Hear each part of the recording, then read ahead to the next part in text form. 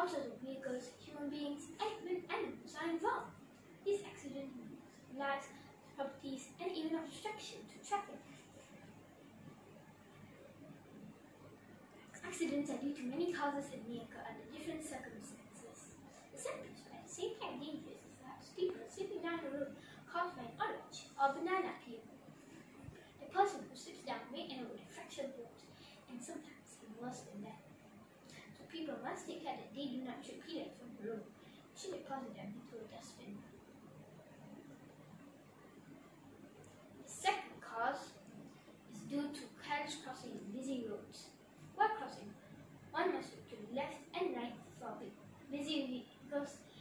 and then cross.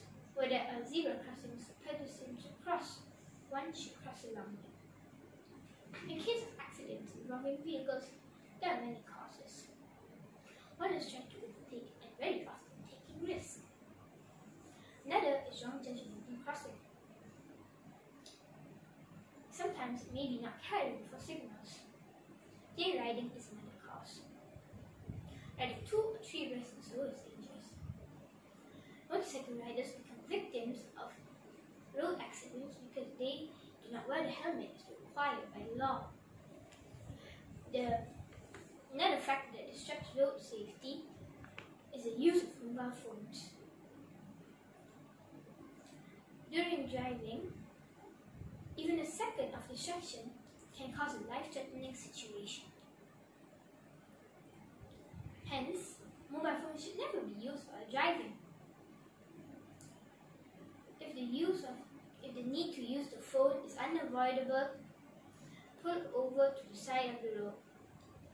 This way, you can concentrate on the traffic. Very often, accidents, cause of accident is due to the failure of the braking system, which means the owner of the vehicle does not bother to keep the machine in good condition. By tending the vehicle regularly, a lot of miseries could be avoided. Road safety is a matter of education. School can play a significant role.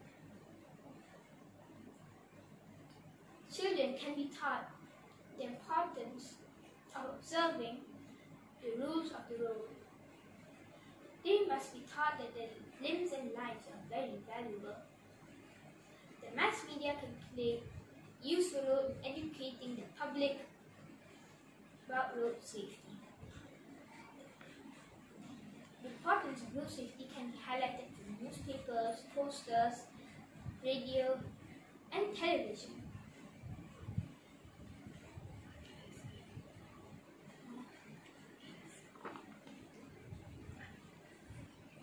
Unless everyone is not educated about the importance of road safety, the accidents and loss of lives